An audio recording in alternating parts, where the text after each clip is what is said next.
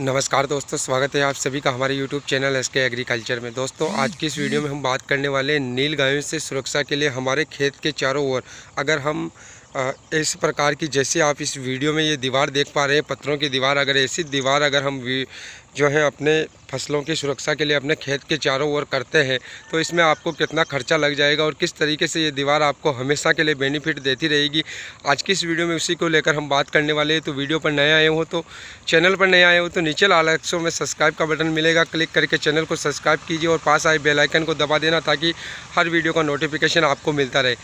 तो किसान भाइयों, जैसा कि आप देख पा रहे हो कि ये पत्थरों की दीवार है और इसकी जो हाइट है वो छः फिट की है और छः फिट की हाइट को ऐसे जो ये पत्थर हैं, इस दीवार को कोई भी नील गाय इधर से उधर फांद नहीं सकती हैं क्योंकि इन पत्थरों की चौड़ाई ज़्यादा है और ऊंचाई भी छः फिट है तो कोई भी नील गाय इनको इधर से उधर फांद नहीं सकती हैं तो आपके खेत में आने का सवाल ही नहीं पैदा होता। है तो अगर आप आपके ज़मीन जो है, जैसे अभी आप ये मेरी ज़मीन देख रहे हो ये पूरा का पूरा प्लॉट है। इसी से ये पत्थर हमने निकलवाए हैं। यहाँ पर थोड़ी मिट्टी भी डलवाई थी क्योंकि ज़्यादा खड्डे हो गए थे खेत में। तो यहाँ पर मिट्टी डलवाई। बाकी आगे की साइड आप देख रहे हैं कि मिट्टी नहीं डलवाई है क्योंकि उधर ज़्यादा बड़े पत्थर नहीं थे। तो यहीं से ये पत्थर हमने निकाले और यहीं पर जो है बाहर हम जो है ये दीवार कर रहे हैं और आगे भी आप देख सकते हैं। ये यहाँ पर अभी भी काम चल रहा है। तो इधर हमने पत्थर ये इस खेत से जेसीबी के ज़रिए निकलवाए, बाहर डाल रखे हैं और इधर जो है लोडर के ज़रिए जो हम इन पत्थरों को रखवा रहे हैं और इस तरीके की जो है हम दीवार बनवा रहे हैं। तो अगर आप, आपके पास अगर लाल मिट्टी और इसी तरीके के पत्थर अगर आपकी मिट्टी से निकल रहे हैं तो आपके लिए सबसे बेस्ट तरीका होगा आप किसी भी प्रकार की फेंसिंग के चक्कर में ना पड़े, किसी भी प्रकार की जाली के चक्कर में आप ना पड़े। क्योंकि वो क्या है कि लोहे की बनी हुई होती है और कुछ सालों बाद वो टूटेगी भी, उनमें जंग भी आएगा, उसके जो खंभे हैं वो इधर उधर होंगे, लेकिन पत्थरों का कुछ नहीं बिगड़ने वाला। ज़िंदगी भर एक बार अगर आपने पैसा इन्वेस्ट कर दिया इनमें तो ज़िंदगी भर आपको कभी भी किसी भी प्रकार की को, फिर कोई दिक्कत नहीं होगी, क्योंकि ये दीवार हमेशा ही बनी रहेगी, क्योंकि पत्थर ना तो गलते हैं, न जंग लगता है, किसी भी प्रकार से ख़राब नहीं होते।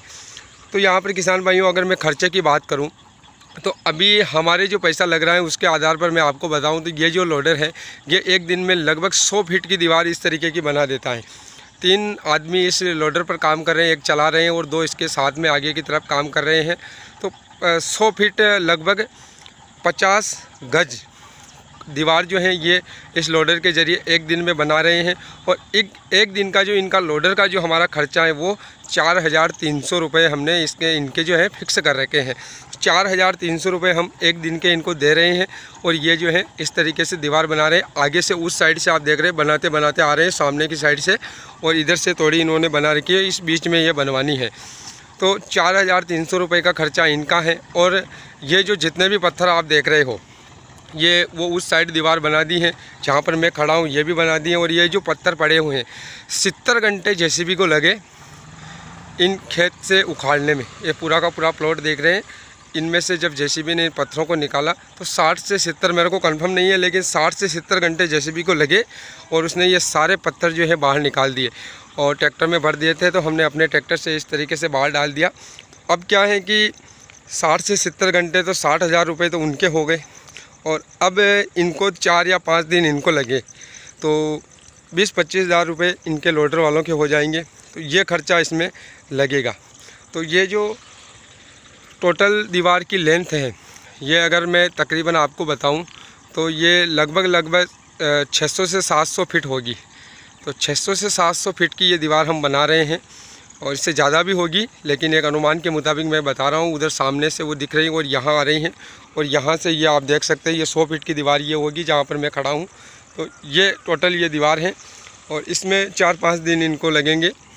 तो ये इनका ख़र्चा होगा और बाकी जो साठ हज़ार रुपये का जेसीबी का ख़र्चा हुआ था, पत्थर हमारे ही खेत से निकले तो पत्थरों का कोई भी पैसा नहीं लगा। तो ये ख़र्चा इसमें आपको लगेगा। तो ये एक एकड़ का नहीं है। देखिए, साठ सत्तर घंटे जो भी जे के लगे और जो भी ये पत्थरों की हम दीवार बना रहे हैं, ये कोई एक एकड़ का खेत तो दिख नहीं रहा आपको। उधर की दीवारें तो कंप्लीट है, ये इधर की दीवार बेकार हो रही थी, रास्ते की साइड की तो इधर की हम बनवा रहे हैं। तो ये एक एकड़ की नहीं है, ये काफ़ी ज़्यादा लंबाई वाली है। अगर इसको मैं गोल करूँ तो आप ये मान सकते हो कि एक एकड़ में हो जाएगी चारों ओर की दीवारें। बाकी इसका जो ये ख़र्चा मैंने आपको बताया है ठीक है, अगर आप तारों की फेंसिंग करवा रहे हो या जाली की फेंसिंग करवा रहे हो तो आपको कम पे करना पड़ेगा। लेकिन इसमें आपको बहुत ज़्यादा लगेगा पैसा, एक बार लगेगा, लेकिन ज़िंदगी भर फिर आपको किसी भी प्रकार का कोई खर्चा करने की आवश्यकता नहीं है। ये यहाँ पर जो पैसा लगा रहे हैं, अब इस दीवार का कुछ भी नहीं बिगड़ने वाला, ये हमेशा सही रहेगी।